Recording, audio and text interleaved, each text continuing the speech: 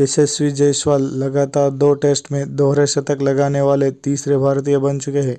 और team India के नाम छक्कों का रिकॉर्ड। तो क्या है खबर की पूरी जानकारी? हम आपको इस वीडियो में बताते हैं। तो चलिए दोस्तों। जी हाँ दोस्तों यशस्वी जायसवाल ने दूसरी पारी में नाबाद 214 रन बनाए।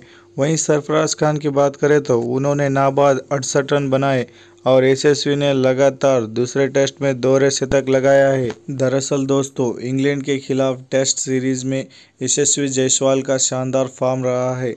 उन्होंने पाँच टेस्ट मैच की सीरीज़ के तीसरे मुकाबले में दोहरा शतक लगाया। यशस्वी ने दूसरे पारी में नाबाद 214 रन बनाए। वहीं सरफराज खान ने नाबाद अड़सठ रन बनाए। यशस्वी ने लगातार दूसरे टेस्ट में दोहरा शतक लगाया।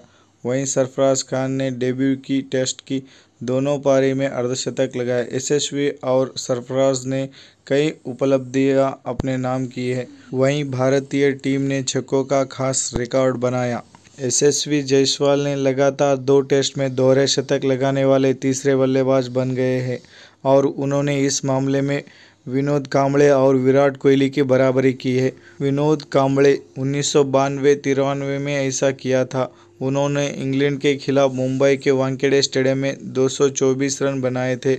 उसके बाद दिल्ली में जिम्बाब्वे के खिलाफ 227 रन की पारी खेली थी। और दोस्तों, उनके बाद विराट कोहली का नंबर आता है।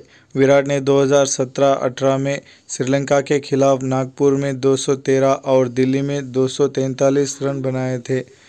अब यशस्वी जायसवाल इस लिस्ट में शामिल हो गए हैं।